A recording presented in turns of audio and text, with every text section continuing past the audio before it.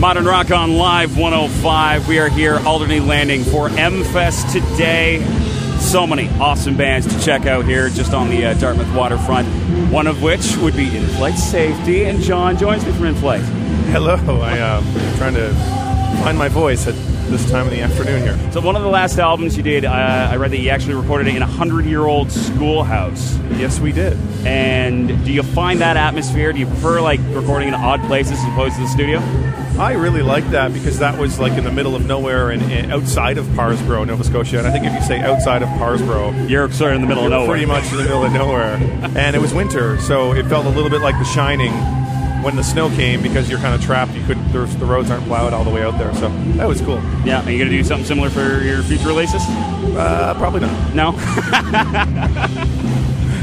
uh, a while back on our Facebook page, I was having this debate about old vintage vinyl and recordings, and you actually commented and said that uh, you guys still even release not just your albums on vinyl, but cassette as well. Cassette tapes. We have cassette tapes here today as well. What What is it that you love about cassettes?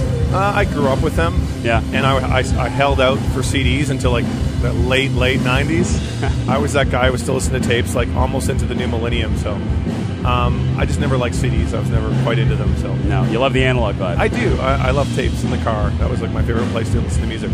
And you do have cassettes available to buy. We do. Yep. That's awesome. by the way. now, in addition to in-flight safety, you're at, you're kind of a busy guy in that you do some producing as well. Because mm-hmm. I was. I uh, my friends Al Stops Time. I guess you're doing some work with them right now, are you? Yeah, uh, we did a song together, and it turned out really, uh, really great. I really like it, and um, both uh, Daniel and I from the band produce other bands, and uh, happily, uh, happily do it. It's really fun to to meet younger bands and, and help them with their sound. And, and we get to see you this afternoon. You do. You get to play here for the lovely audience. What would you like to hear them? What would you like them to do the most? I would like them to either run. I want them all to run on stage after our last song, and we'll just jump up and down. Bum rush the stage. Bum rush the stage. That's what John wants you to do. That's, That's what, what, I want. Uh, very good, man. Well, we're getting excited for your set this afternoon, okay. and I wish you the best. Thanks a lot.